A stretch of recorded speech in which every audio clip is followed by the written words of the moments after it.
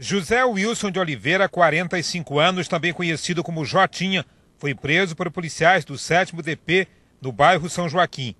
A prisão foi o resultado de uma denúncia do roubo dessa máquina fotográfica. Este viciado em drogas teria roubado a máquina da própria mãe e vendido num ponto de venda de drogas na casa de Jotinha.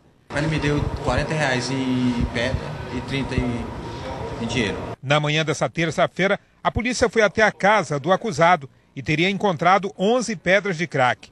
Quando iam efetuar a prisão por tráfico de drogas, teriam recebido uma proposta de suborno.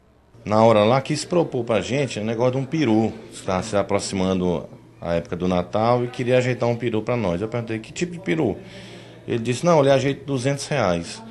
Aí ele disse, não, pois vai deixar na delegacia. Quando a gente está aqui, a mulher dele chegou com os 200 reais. O que a esposa do traficante não sabia é que toda a conversa seria gravada.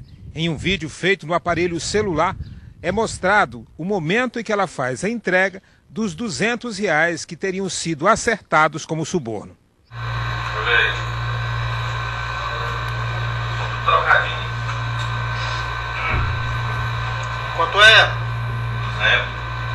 Dona Maria José, a senhora está presa, viu? A senhora está presa corromper os policiais, viu? Não, A senhora tá presa, viu? Liga essa, a senhora tá presa, viu? E aqui ninguém vai fazer jogo com traficante aqui, não. não, é. A senhora tá presa, pode entrar. Você! A esposa do acusado não possui antecedentes criminais, mas acabou presa por servir como emissária na tentativa de suborno.